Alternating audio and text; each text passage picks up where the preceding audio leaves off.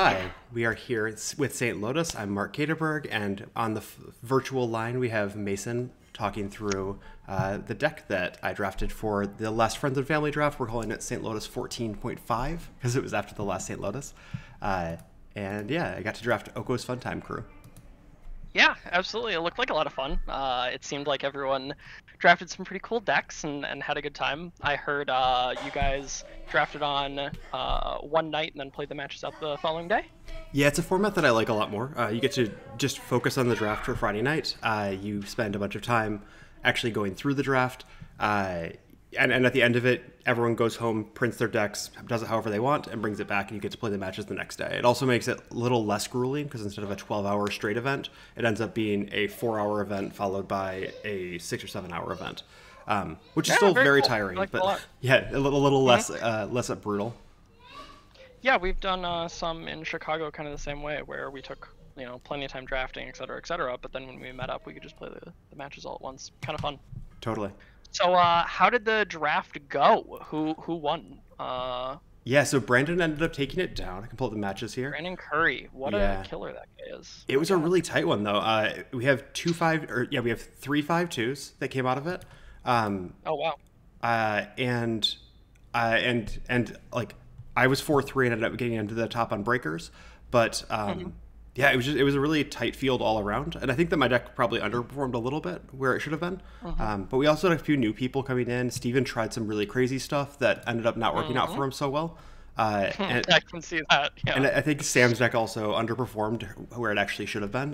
Her deck turned out Sure. pretty well, but no, overall it was like a pretty tight field here. Nobody went 7-0. Nobody ran away with the thing. No kidding. I mean, just those match scores 4 3, 4 3, 4 3, 5 2, 5 2, 5 2. I mean, that's uh, that's about as tight as it gets. Obviously, Steven and Sam not having the best days, but hey, you know, you swing for the fences sometimes, you you strike out. It happens. And, and they were both trying things that were pretty far out of their wheelhouse. I think um, Steven in particular was trying like the Basking Brood scale combo, um, and it was a cool one. I think he's he's tried these kind of like green black creature combo strategies before, and I feel like there's something there. And as soon as he figures it out in this like junk style deck, it's gonna end up just like going nuts. But he's still like sorting out how it works with all the interaction and balancing all of that stuff along with the combo is hard. Yeah, definitely, definitely. Well, let me ask you a little bit about your draft. Yeah. Uh, let's get into it. So, uh, going into this, how much time did you spend uh, thinking about a strategy or or a plan or a game plan? So- I know you're usually a guy who who thinks about these things a little bit. Yeah, this is like one of the decks that I've had in the back of my mind for a while, and it's it's. I think we chatted about this the night before the draft, and this I think was my E deck. I'm like on the list of uh, decks I have. Actually, I have a bunch of uh, my prep docs down here, and you can see that the the deck I ended up falling into is was literally not even on here. Uh, it kind of fell into this Oath and Tell archetype, archetype, but it was not uh, like when I pulled this up. This is the the prep document I had for this. I had a lot of it in my head, so it's not like it, it was completely blank, but written down on paper, there was zero picks written down for this. But it's a deck I've thought a lot about. It's like Flash, Oath, and Show and Tell. Um, feel like they're things that all work really well together, and that's what I fell into. Um, I now you've done how many of these VRDs now? Uh, high single digits probably. I, I've not I've not done nearly as many as Steven or you. Um, but because I'm often just like watching them. But the probably like five or six at this point. And correct me if I'm wrong, but haven't you drafted a lot of like stormy combo decks and stuff? Correct. Doomsday Yeah. Almost always I almost always I play something not necessarily Storm, but something that's like Doomsday or Thassa's Oracle style wins. I did have I usually have a Storm finisher in there as well, but um, yeah, I tend to go combo or nothing. And this Yep. is kind of a combo deck. I don't know how you, how you consider um, like flashing and show and telling and things, but Sure. I think it's uh, an interesting thing to think about because you know you might have these game plans going in, but once you know combat is engaged and you have to start thinking on the fly, I think a lot of people default to just things that they know. correct. Um, so I think well, pretty I- I, really wanted to like It's the, just like something you haven't drafted before necessarily, but like you were just like, yes, this is this is where I can go to. I've got this. I, I have a plan. Right. I mean, the deck I really wanted to do was a Ruby Storm, just mono red uh, Storm deck, and red and green Mm. realistically. Um, but That's a lot of fun. it would have been super cool. But then LED got sniped in the third round, and it shut down all that plan. So I had I had four decks prepped that all relied on Lion's Eye Diamond, and I had three decks prepped that relied on Urza Saga, and Sam took those two and three. So it forced me into this deck, which didn't Yeah. rely on either of those things. Yeah, so you wound up in seat seven, right? Correct. Um, yeah, I, and right strangely, I. I got you- seat seven on pick five, right? So the pick order was very strange, but I ended up with pick seven. Interesting. And how do you like that? How it, how does that scale on your uh, preferred seat list? I think it's my fifth favorite seat. Um, I think my picks would go one, two, three, eight, seven. Um, One, two, three, and seven. Maybe makes sense to me. but yeah, I don't know. The seven and eight seats are kind of nice since you get the double power pick. You know, you get the double fast mana, you get the crypt and the, the Sol Ring and the mox or whatever. yeah, kind it- of a it's- nice It's, Steven always talks about how he doesn't like the double Mox pick. Um, I think he's mostly wrong, but I think that for the types of decks that he likes to draft, that might actually be correct. Um, It sounds very wrong. It sounds completely insane. I think his point is Um, that something I- like White Plume Adventurer might be better than a Mox uh, once you are already there. But I don't, I don't know if once you already have one Mox. Controver- controversial take, my god. Yes. But hey, you know what? Maybe uh, if I get a chance to talk to Steven, we can wrestle around with that idea a little bit. I mean, speaking of, I mean, Daniel Cardno. Cardno? Is that how Cardinal. you Yep. This is this was his Uh, first draft as well. Eight seemed to apparently agree with Steven as he picked uh, Thalia Guardian of Thraben in the eighth seat. And Yeah, as he- second pick, and gave you the second Mox. You had to be pretty excited about that. I was. Um, once I got the second Mox, I was like, all right, well, uh, if I can manage to catch the. I, I was still at this point thinking I'm going to be in Ruby Storm because that was a, a base red deck. And I was like, hey, I got a Mox Ruby and a Mox Emerald. That might mean that I need less pressure on my Ancient Tomb. Um, I was really excited about the direction of that at this point. But then Lion's Eye Diamond got taken before it even got back to me, and I was planning on taking that card around like 10th or 11th. So um, when Lion's Eye Diamond got taken, I'm just like, okay, well, I'm off that list at this point because without Lion's Eye Diamond, that deck gets incredibly hard to make work. Um, Because so much of it's relying on being able to pitch LEDs, and uh, you can even breach it back, and all sorts of other things that make it nice. Um, and Yeah, Breach instead, LED is a pretty classic combo. yeah, so, so then I was like, all right, well, if I have Mox Ruby and Mox Emerald, I probably want a Minsc and Boo. Uh, so that, that's where I fell into. It's like Minsc and Boo and Oko are the two best cards. Uh, and from there, I was like, I'll just draft Rug uh, and be aiming straight for Show and Tell as the deck at this point. I like that. So in these first few picks, you said you got Saga taken from you, you got LED taken from you. Uh, Time Walk didn't get picked until the third round. Time Walk did not which get picked until the third round. thing. Did you pick? I'm just looking at how this worked. Did you pick? I, I picked Emerald over Time you Walk. did not get a chance to pick Correct. Time Walk, right? Okay. If Daniel had taken Emerald, the way I think a lot of people would assume he Mm-hmm. would, would you have taken Time Walk uh, in that seventh pick? No, in that pick, I would have Or taken you have Urza taken- Saga. Urza Saga, yeah. Yeah, Um, you kind of have to figure that card goes in the second round most of the time, correct. Yeah. I think. So it makes sense. Uh, but then, man, just Time Walk got floated by the guy with Ancestral Recall. Absolutely wild. Um, Yeah. Coming out of these first few rounds, uh, you had basically decided you were going to be playing rug good stuff. Yeah, a- after it got back to me for my third pick, I, I knew that I was in the show and tell list. So I, I had Mm. its flash, show and tell, oath of druids are kind of the three cards that are going to define the archetype. Um, Mm-hmm. And with that, obviously, Oko and Minsc and Boo are incredible because they don't count as creatures, but they still defend you. Um, Yeah. and then I was just basically being like, let's be a big blue control deck. Uh, so I've already have things that need colorless mana. Mana drain was the follow up from that point. I think this mana drain is actually like pretty early and not needed there. Um, I don't know what I would have taken instead. Like, I don't know. Losing out Chrome Mox was annoying later on. I was still not thinking my art my uh, land density is high enough for Mox Diamond, but I, I did definitely feel like I could have used more fast mana in this deck. That's interesting. Do you are you the kind of person that likes to play Chrome Mox in your like fair mid range decks or your your Uh, I like four mana Planeswalker decks? I don't know how to describe this. As, Yeah. I, to me, this looks like a somewhat fair deck, um, Um, or like a somewhat mid rangey kind of deck.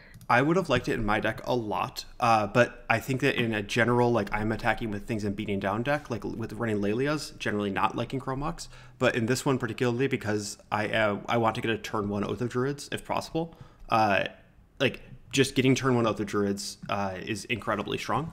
And similarly, like getting a turn one or two Show and Tell is also incredibly strong. So that would be where my head is around why I want it. Um, I, I don't think you want it in a fair deck, but given that this deck is fundamentally trying to do unfair things and has a fair backup plan with the Planeswalkers, uh, yeah. I, also, being able to play your um, play whatever big banger you're doing and hold up one blue mana with all these one mana counter spells was a big part of the plan as well. Yeah, that makes a lot of sense. Uh, to be honest, that that makes a lot of sense. How did you decide which? Uh, so you knew you were going to be doing Oath, Show and Tell, Flash stuff, and I see here it looks like the first big creature that you picked was Archon of Cruelty. Why Archon of Cruelty in round ten? Like it seemed like it came kind of out of nowhere for people. Right. So this is, I think, picking reanimate. I think was the only thing that maybe would have led anyone to believe. I remember in the chat that was kind of going on at the time while you guys Mhm. were starting, everyone was very confused by this Archon of Cruelty pick. So what what were you thinking when you decided to move there? The pick that I like even less is this Fabled Mirror Breaker. It was the worst card in my deck by a long shot. Uh, I took it because I got scared based on the. Uh, based on Cody being so far into red, I was like, "What's the best red card?" Uh, Fabled Mirror Breaker. I grabbed that. Um, I think it was really bad. Like it plays badly with Show and Tell or with uh, Oath and Druids, and it also has a strategy that's just like not this deck, which is chip damage. Um, it's not what I wanted to do. So that's the card I hated. The Archon though I took because Atraxa got taken, and when Atraxa got taken, I'm like, I still want to be Flash. I want all of my cre- all of my big threats to be flashable. Um, so I'm thinking I need Archon of Cruelty, Ashen Rider, and a bunch of other things. But if in my head Cody was going into a straight up reanimator strategy, and I wanted to cut that because I couldn't do things like play Emrakul and uh, and play Ulamog and play all the big titans because uh, had Channel been taken yet? Channel also got taken, so I was scared because Sam was going to be taking the big Eldrazi, and now I see Cody is taking the big monsters. So I wanted to take the monsters that uh, that Cody is taking because I couldn't get the ones Sam is taking.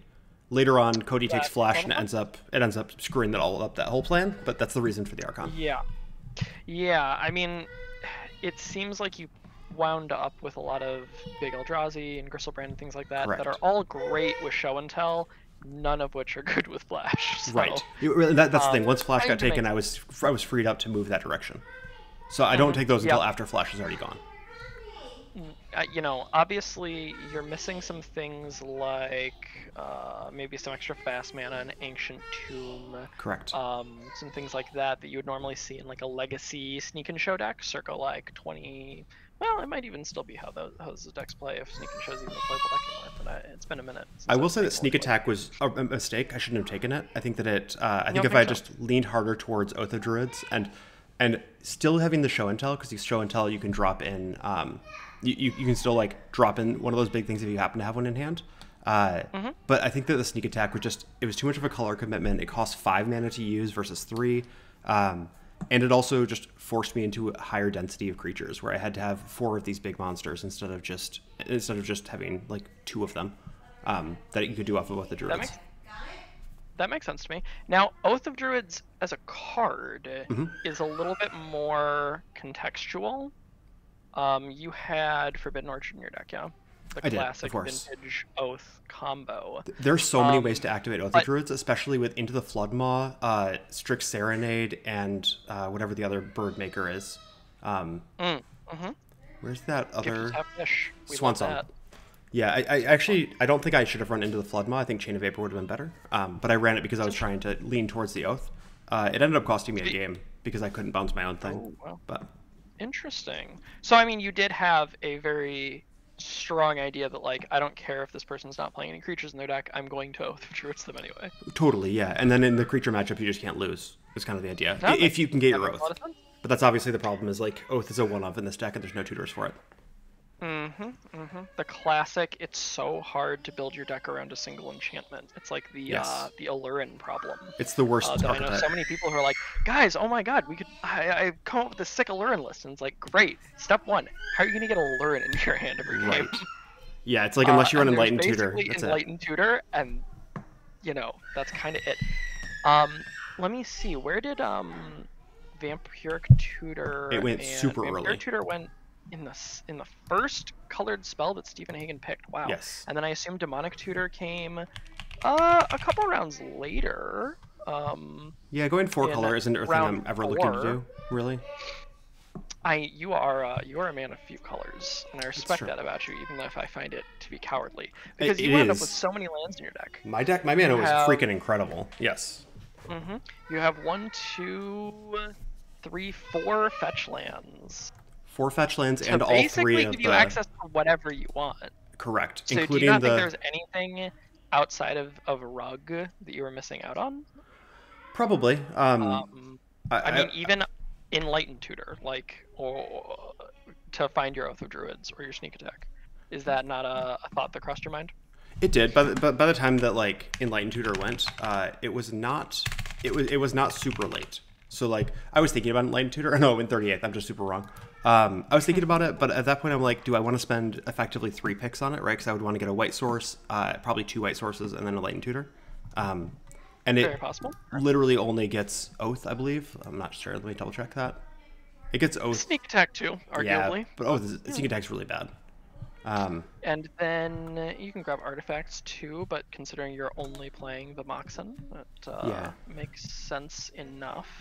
I could see There's totally you like could do if you did swapping wind the up playing things. Flash, because you could grab like a triplicate Titan or some big idiot.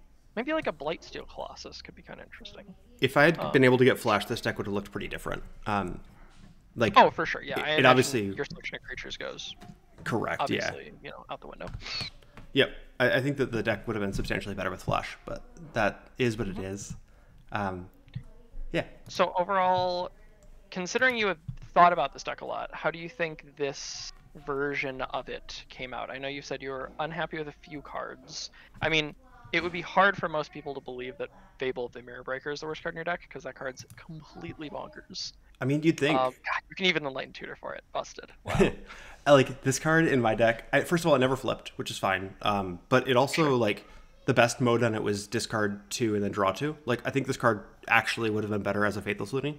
And I know that sounds insane, um, but the creature is just like literally never attacked, uh, and like it probably it chumped block twice. I don't know. It was like very whatever, and it cost three mana to cast. Um, yeah, I can understand I think this is the worst card of the deck. I don't know. Let me let me like look and actually put thought into that. Uh, Wrenn Mm-hmm. and six got a lot of grind value. That's probably better still. Um, Now, Jace the Mind Sculptor might have been worse. That, that Jace the Mind Sculptor was probably worse than Fable, but those two are very close. Interesting. Wow. Jace the Mind Sculptor, how far we've fallen in only a few short years. Now, Renin 6 is just grabbing yourself fetch lands, really. I mean, you can loop Boseiju with it, but it's not doing anything crazy for you, yeah? Correct. Yeah, it, it mostly is. Uh, it's mostly just grabbing fetch lands and then pinging off uh, X ones. So like it killed off an Ogre Mm-hmm. Bowmaster, which was convenient. Um, I don't know. It, like it does things, but for the most part, yeah, it was just it was just grind value off the lands, which ended up being pretty powerful actually. Like just being able to drop it on turn one pretty regularly and then work Uh-huh. off of there. It also meant that I basically was never missing land drops in the control matchups, and there, the control field was pretty wide here. So um, Mm, being able to just like always be slamming lands and being able to hold up a one mana blue counterspell, like I would just like always have a fetch land in play, which means I was always able to have like a strict serenade up at any point. That makes a lot of sense. Similarly, Um, Lutri is ridiculously mana intensive, and I used it more t- in this tournament. Like I probably put him in my hand seven times and cast him Ooh. at least four. It was like very strong card. absolutely beautiful. You even picked up Force Negation. I mean, Force is, Yes. you know, the biggest problem with them. Any of the pitch elementals, all of them, same problem. You need to have a card in your hand. But these companions give you a way to just grab that, at that card at any time. It's absolutely beautiful. Probably one of the more underrated aspects of, you know, Jegantha, and, and Lutri. Absolutely. Maybe even Yorion. Um, Um, the dig was- through. I, I Lutri was actually cloned. the next question I was going to ask. Yeah, I cloned dig through time twice with Lutri over the course of the tournament, and it was the best feeling in the world. My God. Yeah, you can't lose. Yeah, uh, figuring out what you're gonna do with your with your graveyard uh, in any of these mid-range decks. You know, Mhm. uh, sometimes you wind up with Uro, though not a very good card to oath the druids into. Sometimes you wind up through with Treasure Cruise or Reanimate. Obviously, you decide to go with Dig Through Time. Yeah, I wanted to have an instant speed, JVP instant speed here. waste. Uh, no, I can't run. Um, you said J- JVP. Mm-hmm. I can't run it with Oath. Not a good card with Oath. Yeah, Um, and then I would say that but like next Oath of Druids fuels Delve, right? Like its cards nuts with Delve. Eh, sure, yeah, totally makes sense as long as you don't uh accidentally find yourself with an Eldrazi hitting the graveyard. Boom, got it. Uh, nope. I Uh, had an Emrakul hit the graveyard, and in response, I dig through time. Like it oh, was fantastic. beautiful. That's oh yeah, that's that's living the dream, right? Yep, At that point, you're not even worried about decking yourself. It's so easy. it was pretty fantastic. That's great. And then obviously you have Renin six also that you're sort of threatening to do stuff with your graveyard. Uh, Yes, getting actually- yourself a little extra value. It was it was discarding the Emrakul to uh, Fable because obviously Oath would have put it into play. But yeah, it was still very nice. Mm-hmm. I, and I notice as far as like cantrips and stuff go, uh, I would think this kind of deck, uh, cantrips would be very good because you never really like uh, outside of mox draws, which are going to be you know uh, an abnormality, I would assume, Mhm. since you have two of them in your deck. Uh, and you also need to have requisite untapped lands and your actual combo cards. I would imagine that your turn one play a lot of the time would want to be like a ponder, right? Because then you're looking for your oath, you're looking for your show and tell, you're looking for your big idiot. Um, Um, but I don't. But instead, we see like no real cantrips. We see opt and brainstorm. So correct. no ponder, no preordain. Right. So Ponder and Preordain being sorceries is a big drawback. I would have totally played to consider if there had still been one out. Um, I'm not going to like stoop to the level of playing a peak, but given how much instant speed interaction there is in this deck, I mostly just didn't want to tap out on my own turn unless it was for something like Minsc and Boo or Oko. Um, so even on turn one and two, like this format, I, I can't tell you the number of times where somebody on turn one played a one or two drop and I strict serenaded it and it was the game, right? Like just being able to counter uh, a Sol Ring on turn one with uh, counter the strict serenade with a Sol Ring was incredibly strong, and it just it left Sam on one land and she just sat there drawing for four turns and then finally drew a land on turn four. Oof, that is how a, a VRD turns against you. Yeah, and, and then she played fast We've all bombed, been and it was there. like, okay, well this this would have been a very different game if there had been a Sol Ring in play, Yeah, yeah, no kidding. Pour one out for the homie. right? Pour one out for the Fastbond too. But you know what? She deserves it for picking your saga and your alliance at damage. So It was pretty brutal.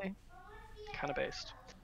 And the of negation was uh, great. I mean, being able to pitch it was obviously fine, but also this deck largely defended on, on other people's turns. So it was a way I could tap out for one of the big stupid dummies, and then on their turn counter their thing with force of negation. So it, it was a, a safety blanket. Um, given that this deck is a like mana drain, you tap out for a giant planeswalker and then hold up force of negation afterwards.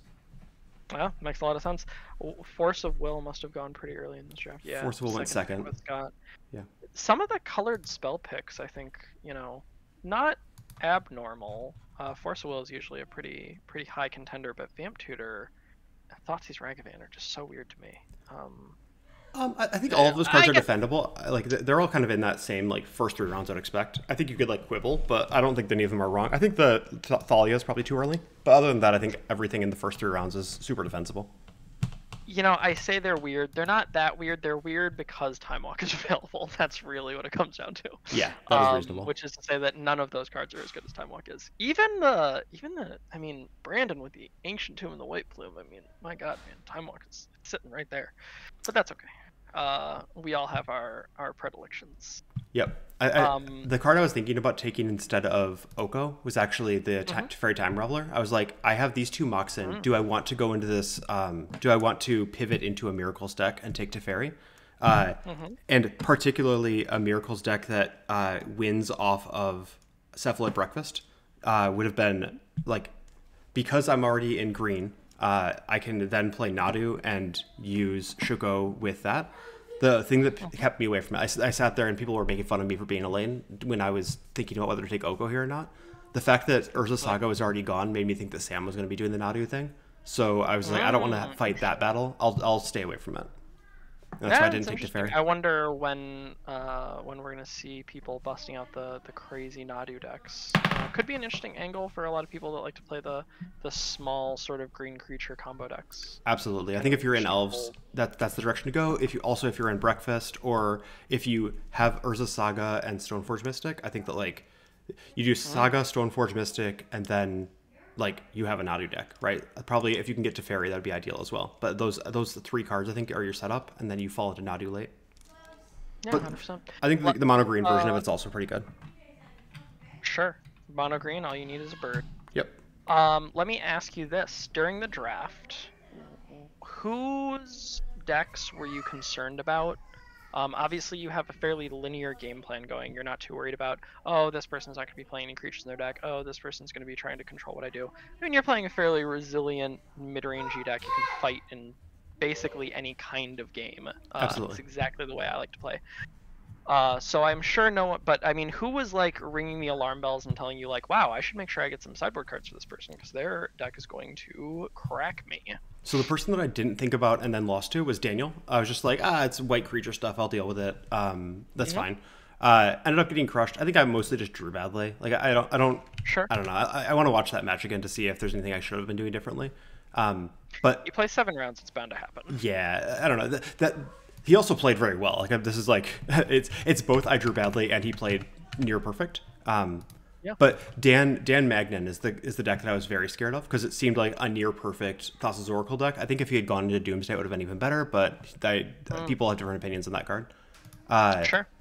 Let's see. Sam's deck, I think, was just like this can do very powerful things, but I think I have most of them covered.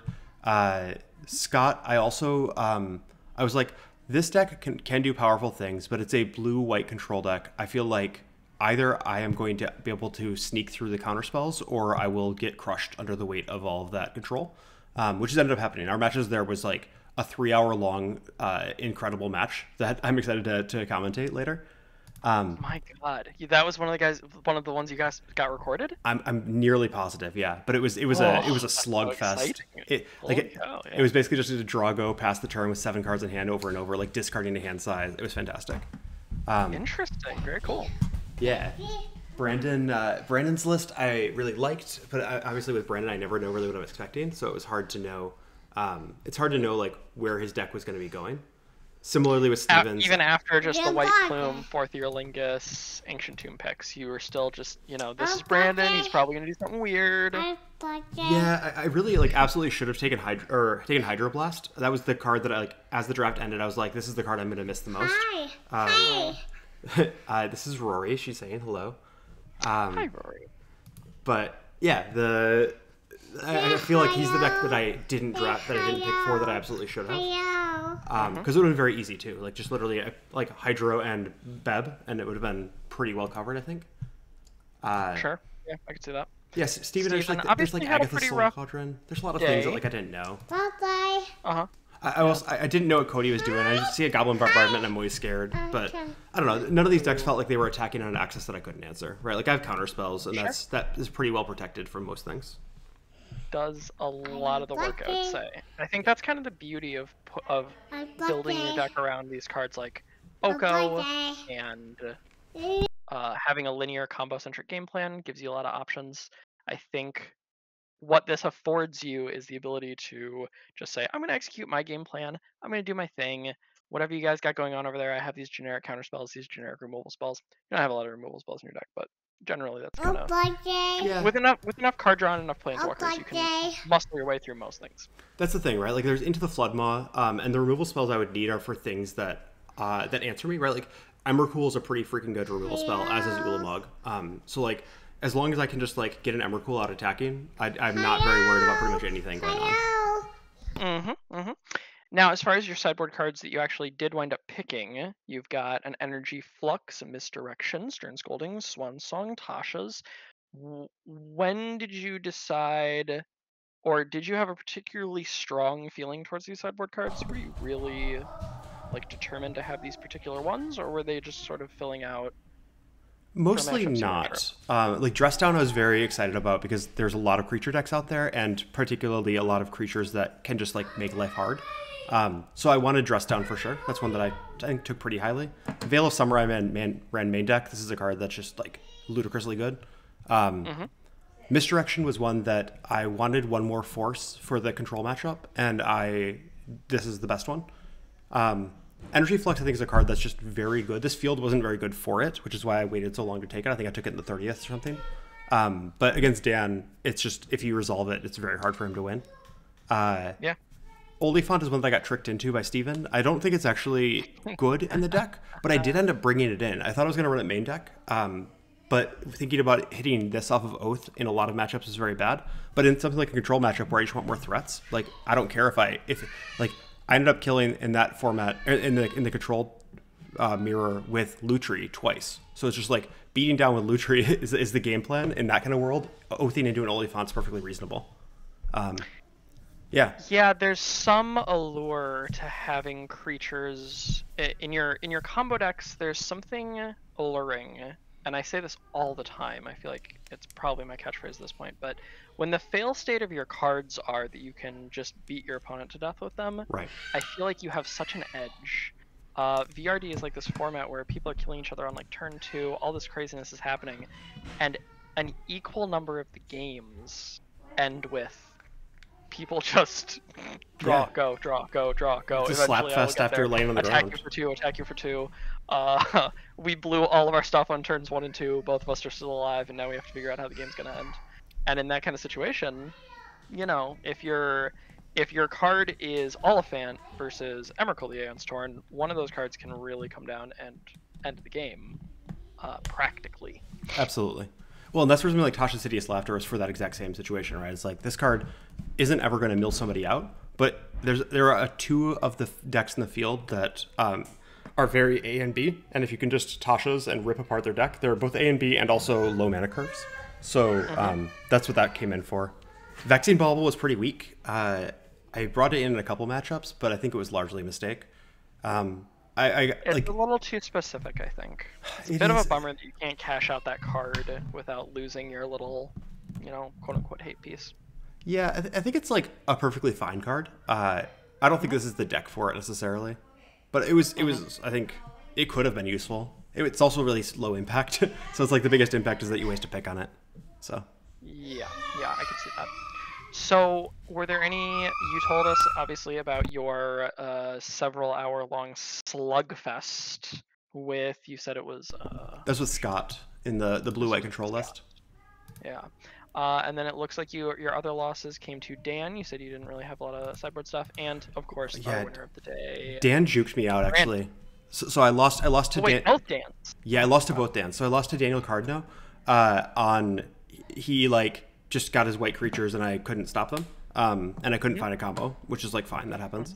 Uh, against Daniel Magnan, he juked me out with uh, he baited with the Grim Monolith. I think it was. Well, he had a key in play already, so I countered it because I just couldn't let that happen.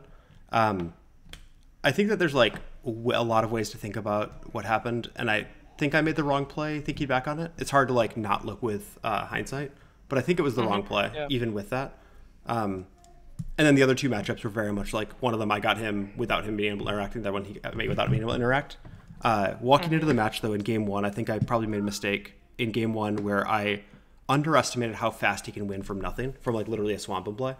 Uh, So I, I like in game game one, I think I really made bad mistakes. Uh, game three, I think I just got got and like he outplayed me.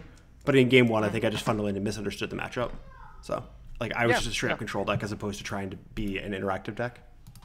Right, and that does kind of make sense. He does have a more sort of immediate combo. His combo will literally win him the game, whereas yours will put a big guy into play. Correct. um, and sort of give your opponent a. I, I always like to say um, the storm decks of of the a bygone era of cube draft. You, you used to sort of hang out and you would wait until your opponent was about to kill you, then you would finally try to go off. yes, like Whereas the reset nowadays, tide you kind kind of of world. just try to go off as soon as you can because there's too much interaction in the game. There's too many ways to just die on the spot. I nowadays, Storm in Cube feels a lot more like uh, I'm waiting, I'm waiting, I'm trying to go off as soon as possible, as opposed to just waiting until you're actually dead. Yep. Um, giving your opponent that little heads up, like, hey, by the way, next turn you're gonna die, so you better go for it. Um, certainly not the most immediate combo. There are some combos with Lutri, aren't there? Like dual cast or something? No, Probably. he's a legendary creature. That doesn't work. Yeah, I I'm sure there is something, but Ugh. I was I don't know. thinking dual cast mage. They're like quote unquote combos with it, but uh, not I will with say a matchup against Cody is fun to watch in that I drop an Oath of Druids on turn two, two games in a row, and then the game ends. Um, which is like Beautiful. It's it's a I nice little that. 15 minute match we can have up there soon. I was gonna ask, were there any of the obviously those were your losses and, and lots of things to think about in retrospect, but then were any of your dubs particularly exciting or were they all pretty rote? Let's see. So I, I straight can't beat Brandon ever, uh, just in any format. Um, that's not true. I think we're like roughly even, but yeah, it feels that way. Yeah. Um, Dan and Dan, I feel that way talked too, and I think I beat him all the time. uh, the match against Sam, her deck didn't perform. The match against Scott was incredible, slugfest. Uh, Cody was like a fun little like just me going off twice in a row. Uh, and against Steven, it was a pretty close match. That one's not on camera, um, but it was a lot of just kind of like me controlling the board um, while he was trying to put things together, and then eventually just getting him. So uh, hi- yeah, like I gotta say, Steven's not a bad player, and for him to go zero and seven is yeah, probably a little below expectation. Even if his deck, he said he wasn't super thrilled with his deck. I would expect that in the seven rounds you're probably running a little bit below average if uh, if you can't pick up any wins. Yeah, I Um, mean, he, he bit bitter of a bummer. ordealed me, but only had four, and just like I had five five targets, so he like got got got there a little bit. Um, but yeah, I, I think largely this the deck just kind of like didn't perform, and that's I, I think uh like he tried for a strategy that I don't know. You should interview him and talk about it. Yeah, yeah, absolutely. Hey, I uh, I appreciate anyone who's willing to push the limits and test out some new things, and that includes when you're testing out new things for you, by the way. You know, because Yep. uh, as much fun as it is to play rug mid range, it's cool uh, to branch out and play some different decks. yes. It's a lot Uh, of fun- it's a lot I don't think. I. Would you Yeah. Are you are you excited to draft this particular archetype in the future? Is this like a, a well you think you'll be coming back to, or do you want to get back to your storm cards? Um, I definitely want to get back to Storm if it's available, but I also recognize that it won't always be. I think Oath of Druids is a card that I want to explore more. Um, I don't know exactly which direction to go with it. I think Sneak Attack, this has taught me, is Sneak Attack is just not a very good card. Uh, similarly, like why I don't like the big green decks, it's just it requires running too many cards that when you draw them do nothing.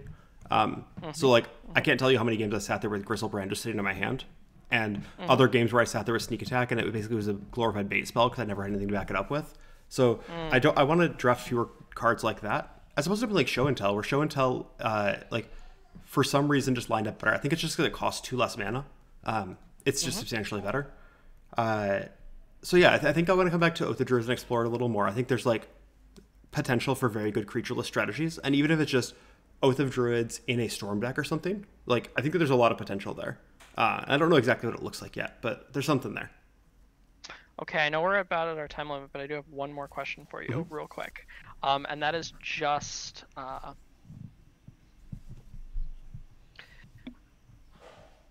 Hold on, wait. I'm thinking of it. We can edit this part out. Uh, I just had it in my head. Fuck. Hold on. I'm leaving the silence so we can find it. Yeah. Shit. I was literally thinking this for like two minutes. Fuck.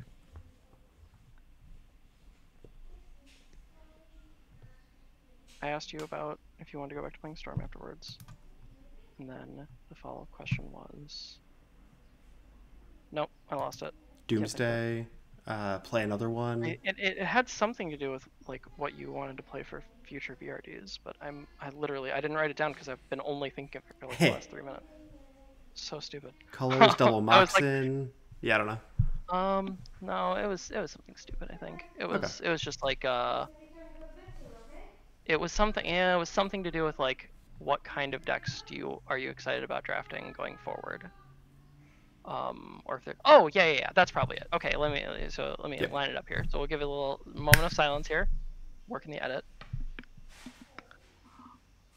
So, what kind of decks are you don't uh, participate in every St. Lotus draft because obviously Rarely. you are our wonderful host and and commentator. Uh, so, given the fact that you don't get to get out for every draft, are there any decks you're really really excited about playing the next time you get a chance to sit down at the table? Yeah, so I mean, I, I think returning to kind of the list of things that I was excited about drafting for this one is still true. Um, like there is a Stiflenought list that I feel like I'm really amped about. I don't know exactly what it looks like, but being able to run Teferi, Time Raveler, uh, Dreadnought, and then as well as some of these new cards that have been coming in with it, like Doorkeeper Thrall, um, and being able to Null Drifter along with Phyrexian Dreadnought. That's that's one deck that's very much in my head. Another one is this uh, mono red Ruby Storm. I dra- I played just like Goldfish this one for about two hours the night before. I was just so jazzed about it, and it it has legs. I'm really excited about this one. Uh, and then the deck that I've literally had sitting here for five years is uh, like effectively a port over of um, of an eight mulch list. Uh, so being able to run Winding Way and mulch along with just kind of like grind to the ground Pox style uh, green black nonsense in a, in a land strategy. So not turbo lands, but being able to just like Liliana the Veil and then mulch your way through the game. So those are kind of the three that are very high up there. There's also some food I, chain. lo- I love new green black deck. I think there's a food chain nonsense with, with this new um, Glaring Fleshraker card. Like that card Ooh, just yeah. seems Mhm. nuts. Um, so I'm, I, ex- I'm I excited talked to to see a that few one. people who are excited about that card, so uh, it's going to be interesting when that one finally pops off and we see some people going crazy with it. Yeah, Fleshraker. The, the coming to classic problem though, near you. Food chain. If you remember its type on the line, it says enchantment. So that's that's a hard one to make work again. Mm, true, true. So, but, But, you can just uh, play an hey, Eldrazi always aggro deck interesting. and happen to win. But that's the idea for this one. There you go. Genius. Brilliant. Voice of a generation. Mark Katerberg. Cool. Thank you very much for talking to me about the draft, Mark. Yeah, absolutely. And, this is a great uh, time. nice job. Next time, I'm sure you'll get them. Yeah, I mean, I still got prizes. I got into the top four, so that's that's okay. That's, what- that's what I like to hear. What did you uh, wind up walking away with? So we for these friends and family ones, instead of doing big bottles of liquor, we everyone brings seven uh, EDH playable cards, and you sign them and have a big like VRD written on them. So it's almost like a scribble ante, where you you and Ah, your opponent awesome. pick a card, and then you play for those cards.